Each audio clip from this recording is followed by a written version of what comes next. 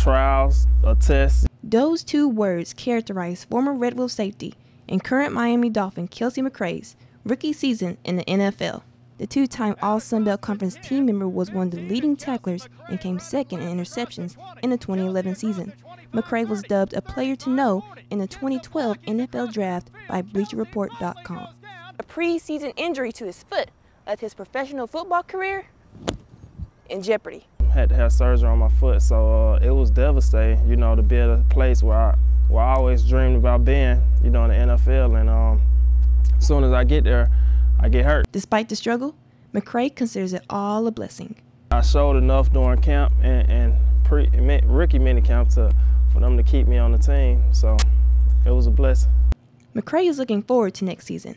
His goal of becoming a starting safety, along with support from his family, keep him motivated. You know, so I'm definitely self-motivated, and my family gives me that, that extra push. Arkansas State is, is one of the few schools that gave me an opportunity coming out of high school. So it feels it feels good to be back here. As his career continues to advance, he'll always be thankful for his time at Arkansas State. Megan Strickland, ASU TV News.